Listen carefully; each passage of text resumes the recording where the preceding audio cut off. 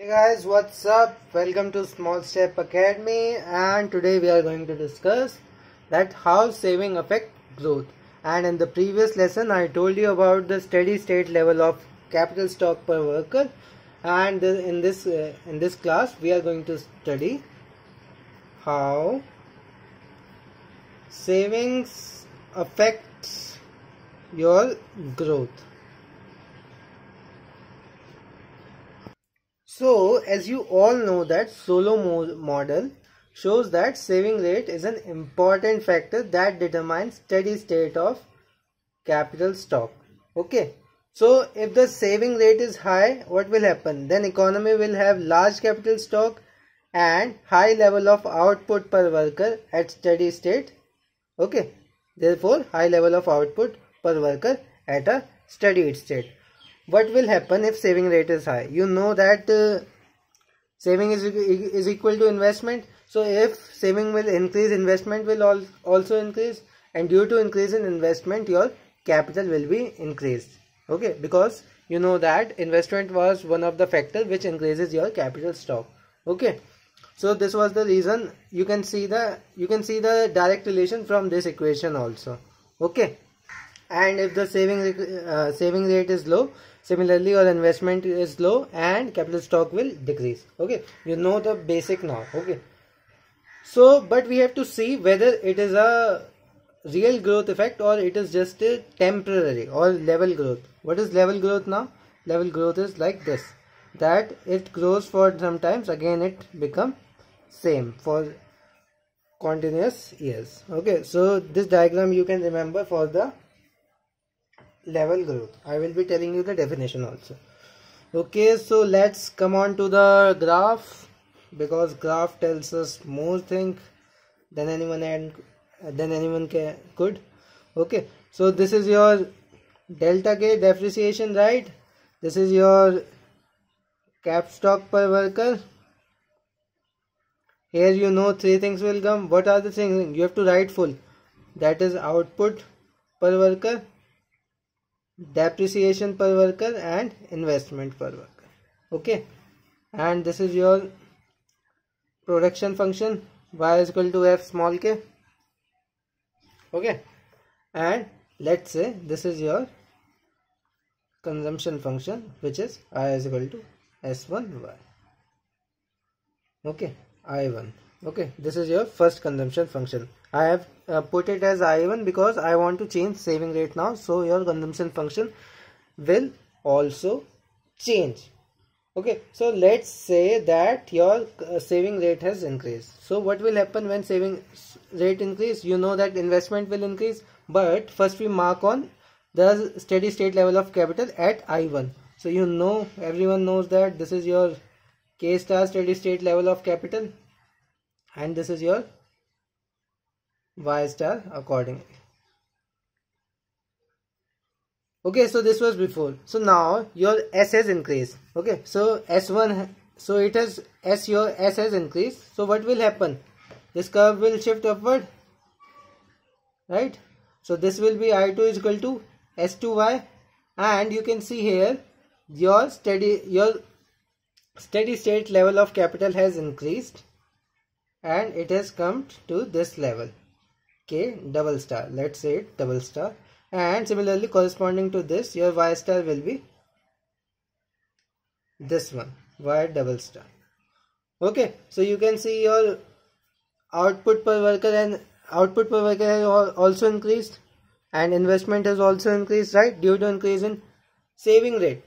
Okay this we know but but will it be a uh, level effect or growth effect so now we have to see this whether it is a growth effect or level effect. So in Solow model higher saving rate lead to faster growth right? But but it is only temporary. This is the important thing. It is only temporary because once economy attain new steady state growth will eventually stop.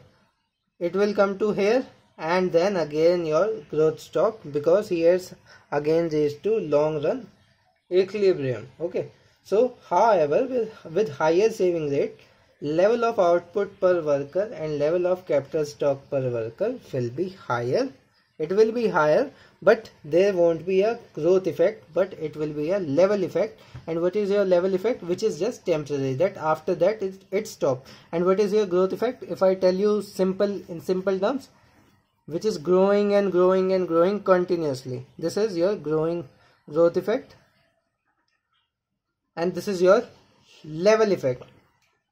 So what does it telling now? That the change in saving rate will only increase in saving rate will lead to growth but it won't be sustained. It will be only temporary growth only.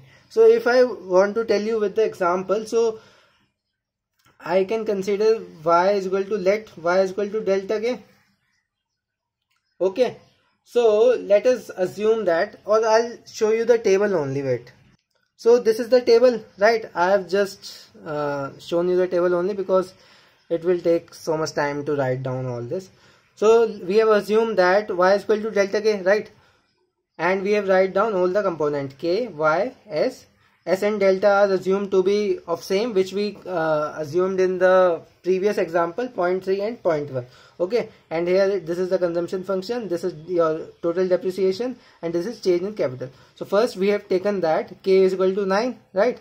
At k is equal to 9 if you write it k here you will get y3 and s and delta is given 0.3 and 0.1 Similarly, similarly your i is equal to sy and what is a, you know s and y you can directly multiply and write it will be 0.9 delta is given and k is given so you can also multiply this and you will get this.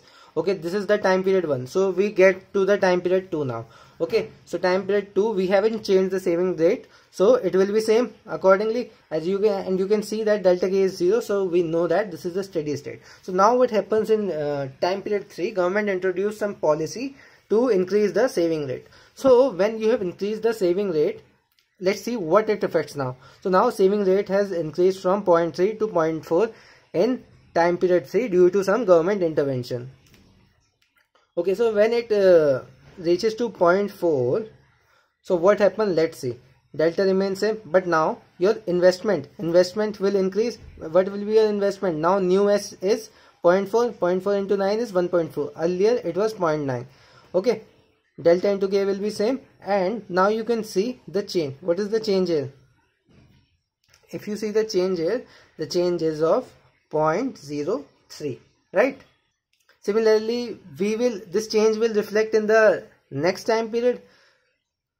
And you know the change in capital K will be added into small k which so next uh, next uh, time period K will start with 9.3 and same procedure will follow on and there will be a change again of 0.2896 it will be added to the next period and you will calculate all this value. And but where from where will it go? Till when it will go? It will this process will go on. This process it is basically this process will go on k, k star to k double star where it will reach to 16 how do we know it will come 16 because you know that your function is y is equal to delta k right and to calculate the steady state level of capital you know the function is s upon s upon delta is equal to k upon y.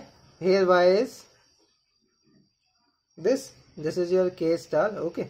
And s what is what is your new s? 0.4 this is your 0.1 if you calculate this this will come as okay. So if you solve this you will get your k value as 16 so that's why until it reaches 16 it will go on till this. But again after reaching 16 it will stop. This implies that there will be only level effect. There won't be any growth effect. So thank you guys. This was all for today's lecture. In the next lecture we will see the golden state level of capital. Okay. So thank you for watching guys. Give this video a big thumbs up or thumbs down whatever it is so that we can improve more okay. So thank you for watching. Bye